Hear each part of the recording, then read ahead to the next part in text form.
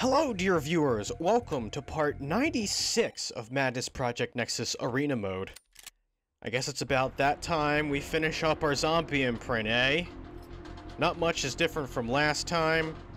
I got some extra armor on. As you can see, I have a cape and a headband. It'll increase my attack speed and some armor. And, I got a face mask thing. That's about it.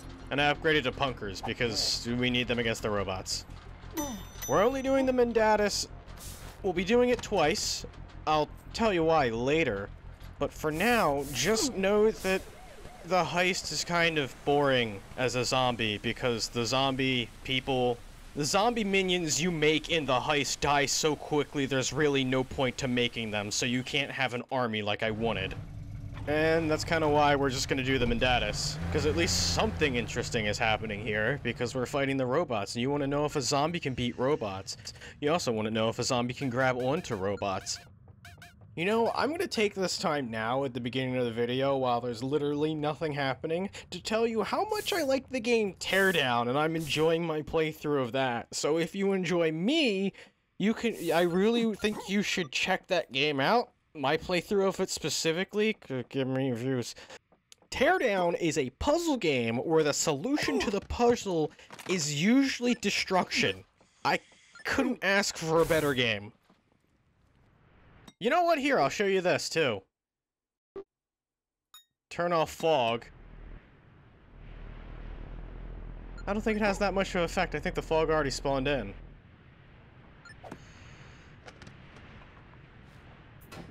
Oh, hi, hello.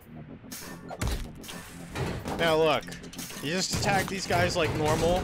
You you are essentially a minimum wage employee and you just have to take the abuse while kind of hoping that they fall over and yield to you when you hit them. But hey, as a zombie, you can grab the robots when, when the game lets you. You do this animation, and then they throw you onto the ground. But that's because we're small.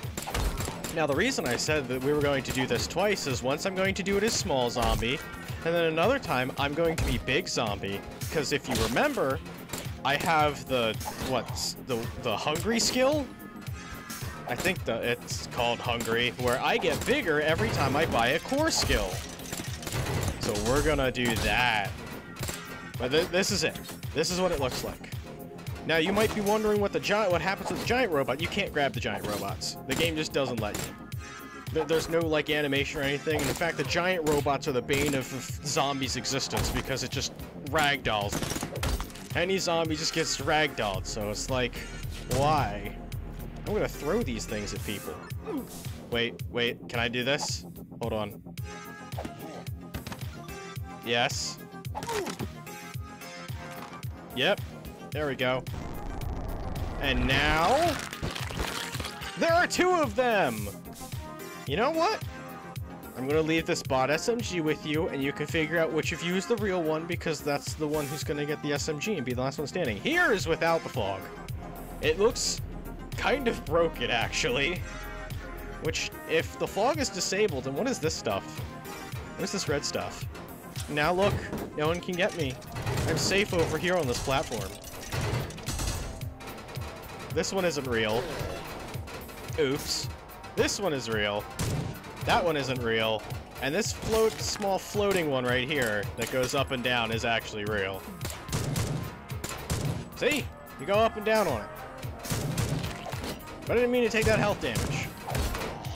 So look, I'm just gonna slowly piddle away at all these guys until a big guy shows up. I'm gonna use the grenade there. Oh, a Roomba. No. That Roomba's losing its mind. Uh. It's try- it's trying. There it is. There you go.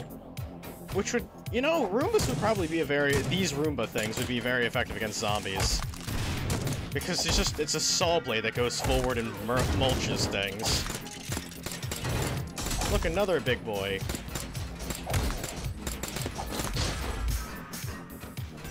There it is.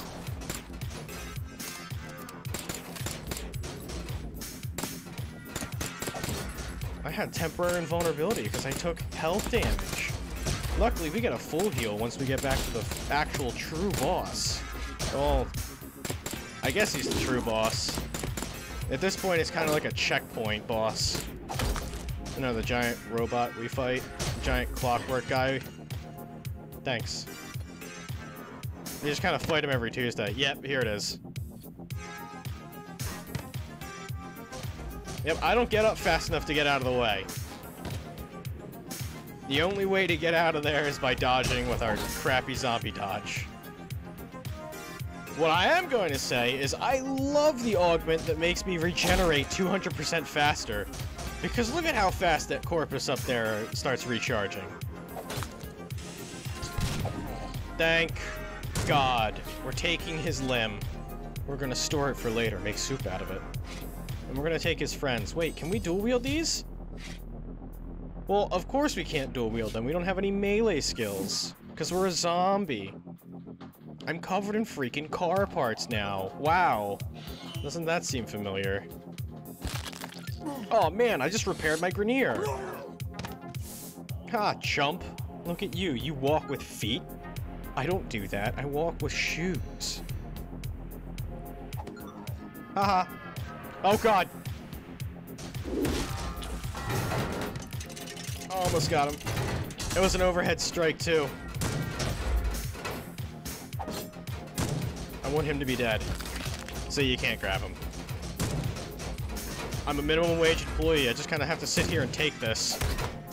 He didn't knock me over. That was his mistake. I need to kill the Roomba, though.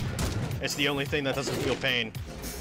Your character is essentially a Monster Hunter character when he gets knocked down. He's just gonna lay on the ground for the foreseeable future, and then get up right as the enemy attacks him again. I don't know, am I the only one who feels that way about Monster Hunter? It's like, oh no, I've been knocked over. Well, let me take my sweet old time getting up. Or, oh no, I need to drink a potion. Let me just spend two years doing that, making sure I also, like, close the cap, wipe my mouth off. You know, we don't want to get the environment dirty. Anyway, let's go kill literally everything in the ecosystem. For, like, its head, so you can make, like, a piece of armor you're gonna wear for, I don't know, a couple days and then get a new one. How fun is this? Yep, totally fun. Definitely fun to watch.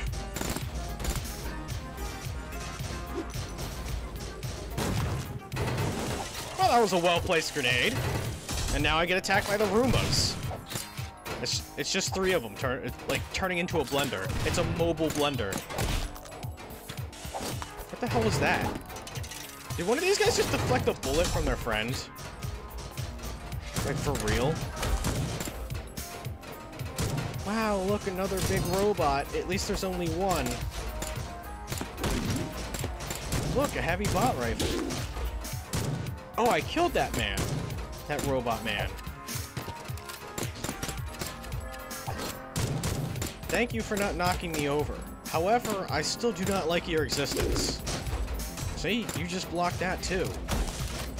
But I'm gonna throw all these at your friend. Yeah, I was just making sure I had scrap on me. Sounds kind of like a Goron from Zelda. Aww. Right? Specifically Ocarina of Time, because that's like the only Zelda game I ever played. And someone actually had to kind of beat it for me. I don't remember what they did. All I remember is I don't think I ever beat the... No, no. I did the water thing. I never figured out how to turn into Adult Link because I'm stupid. So what ended up happening is I went over someone else's, like, house or whatever and showed them, like, yeah, look at all this stuff I have in Zelda! I think I beat the game, there's nothing else for me. And then, well, they went, here, you go here. And then they did, like, the whole side quest to get the big sword what else they do? They got like everything for me, and I'm just like, wow, at the end of the game, like, I don't know how to do half of the stuff in this game. It was crazy. It was literally one of those moments where you went over your friend's house and your older, their older brother was like, oh yeah, here, I got it for you. Oh, thank God. Okay. I didn't think they had that little health left, but here we go. Hello, sir. You know what? I don't like your attitude. Get out of here. Can I kick you out of here? Yep. And this is what it looks like without fog.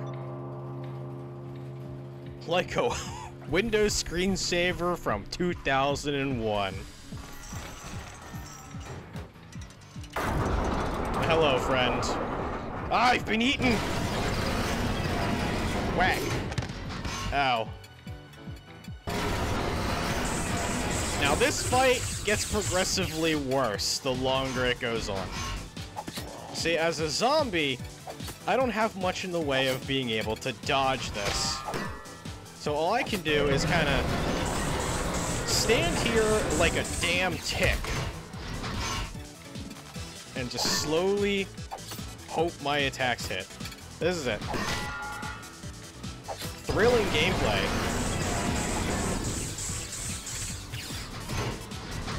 I mean, I could stand in front of it.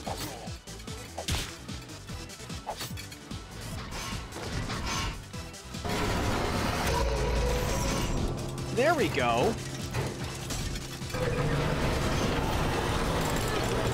Now, the best strategy I've seen, well, that I've come up with while playing as a zombie here, I don't know why any of you would do this. I, I already did it. You guys can see for yourself.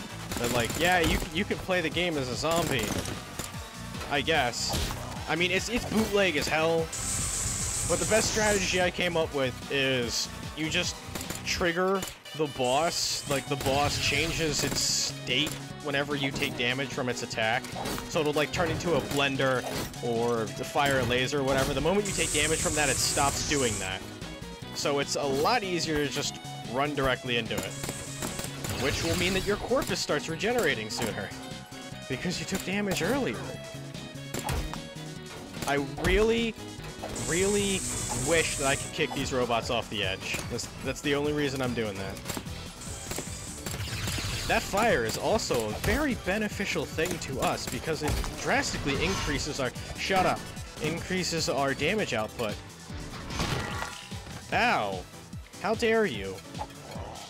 I cannot believe you've done this. Yeah, it, it takes a bit. Bear with me. There we go, another corpus down. See? Walk right into it, the attack stops immediately. Which gives you free reign over the arena. We still have five grenades, but I'm going to use those in an emergency. The emergency being when I run out of Froot Loops. Okay? When I'm out of Froot Loops, that's when the grenades come out. I buy a lot of Froot Loops. The Marshmallow Froot Loops, specifically, not just any. The backup cereal that I have is Captain Crunch with the berries in it. Here it is. We'll just slowly get up here. We may get hurt just a little bit from the fire. It's fine.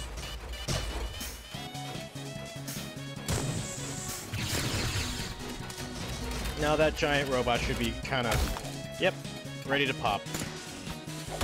We just gotta get rid of his little blender friend, little Roomba.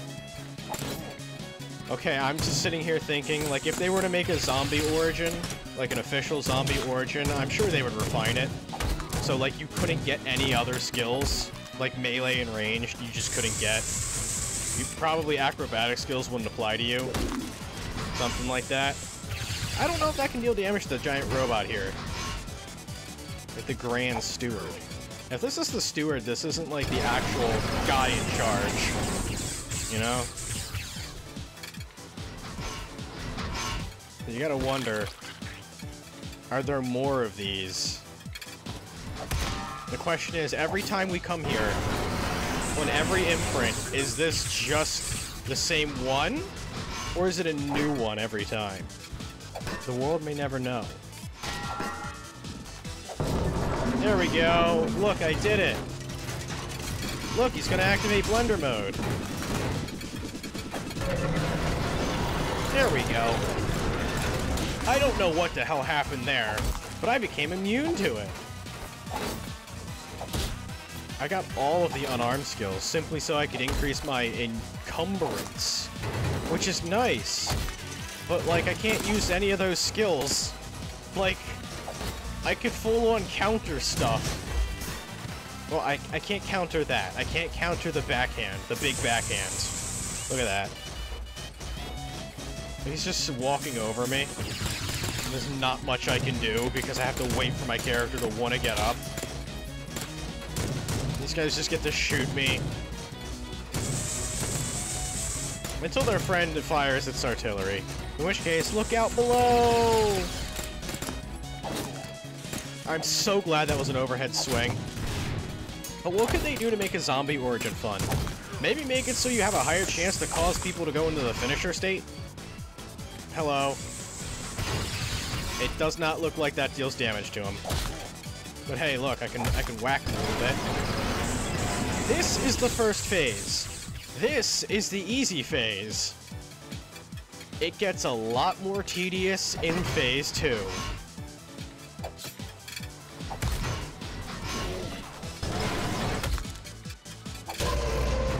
There we go.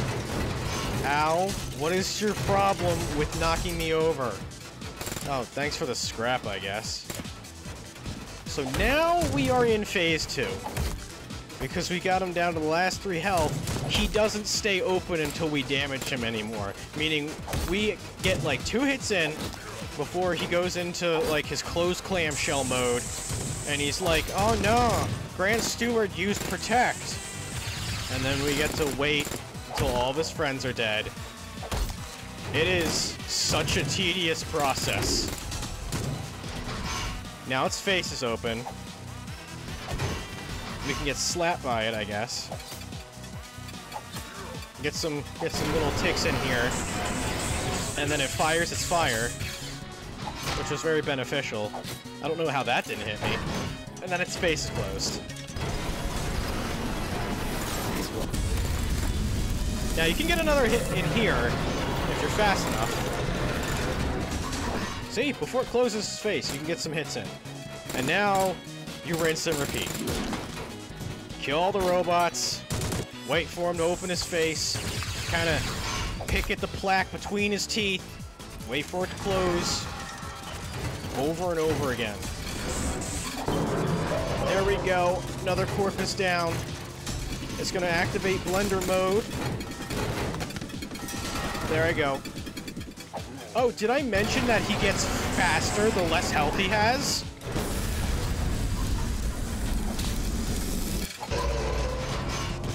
Wow, I got him that time. I didn't think I would.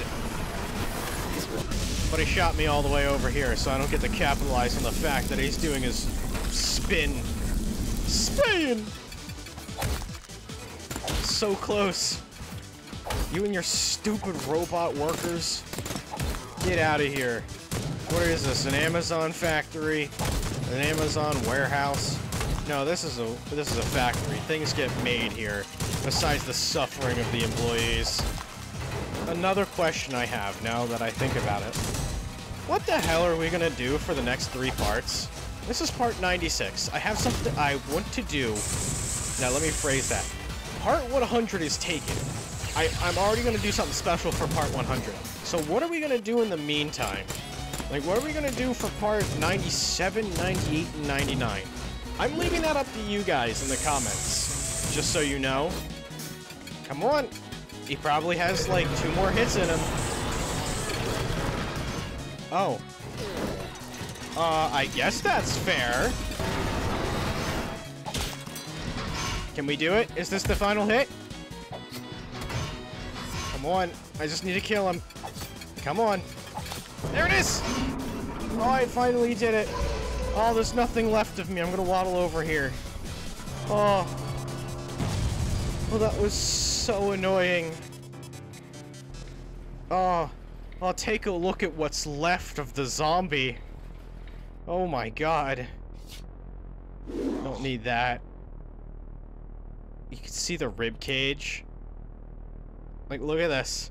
There's no helmet left. The cape has more or less been melted off. You see through to the point where... I think that's the back of the body. that you're looking at there. There is no skull, that's gone. All the head armor is gone. The chest piece, like the bottom of it is still there. But the rest of it, no. The shoulder pads are like wire frames. Good thing the hands are still there. So we finally did it. Arena victory. Look at how long that took. Hmm, now we could... Look, I'm back to my undead self.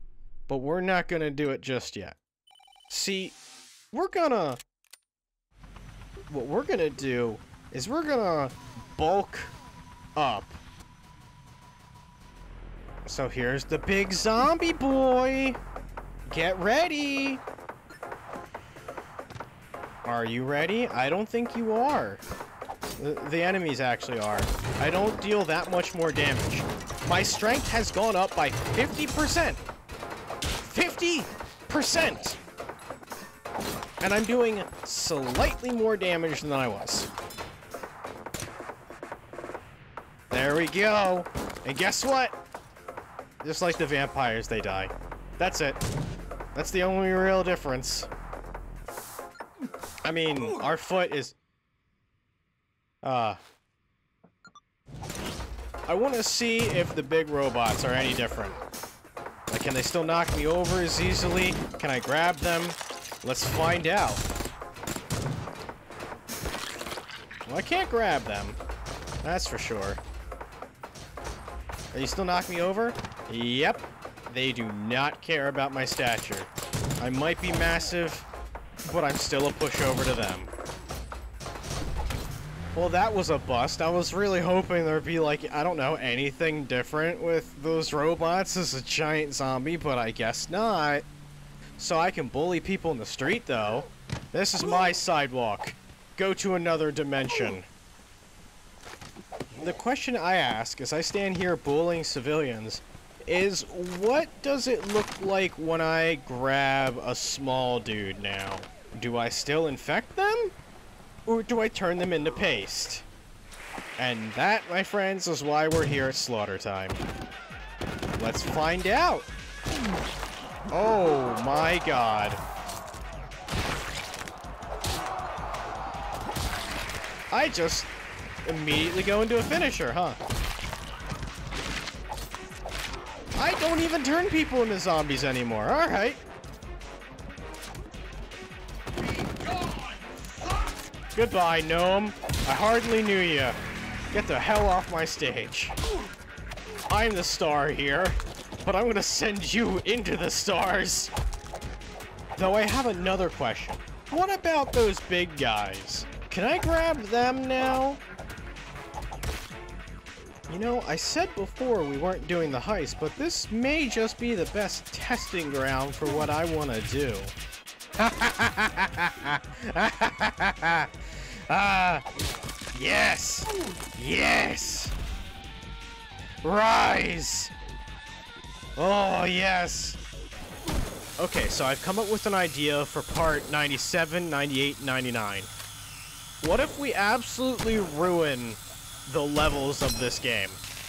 I'm talking like I start spawning in units on any of the levels. You guys in the comments can tell me what units you want to see on what level, and we're just gonna see them duke it out. It'll be like the sandbox, except with actual objectives and stuff for the enemies that we spawn to do. So tell me what kind of fights you want to see, in what maps. you can see that these guys are actually kind of effective taking out the zombies. All their M1 Garands have bayonets on them, so they got the melee damage. the zombies aren't even bothering to convert people. Zombies are so not a threat in this game. Like any level where the zombies are, they're just they just get bullied.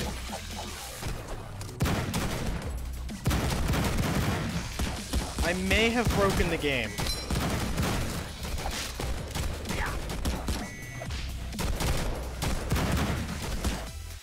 It crashed. Something tells me that this is not how the mission is supposed to go. I mean, I'm glad to see that the Nexus Corps can make absolute short work of the police officers. Well, Hank is here now. First thing Hank does is grab a riot shield and start smacking the police. Him and Loki get along swimmingly. Man, the streets of Nevada have really been let go. Like, there's all sorts of weird rabbit animals walking around. Crinkles is here. Kind of upset someone's messing up his game, but eh. He doesn't care all that much. Alright, alright, the insanity's over. Back to our regularly scheduled ending sequence, right? But we've done it, guys. We've completed our zombie playthrough. So now, I guess we're back to the question, what do we do for the next few episodes, right? Until we get to the big 100, what should we do to fill the time? I think we could have some fun spawning in armies of units to fight levels for us. I think that might be interesting. Or do any of you, viewers, have better ideas for what we could do for three episodes? Because that's all we have. So that's on you guys for next time. But right now, we're going to wrap up episode 96. So thanks a lot for watching. I really do mean that. I hope you have a good rest of your day, and take care. I'll catch you next time.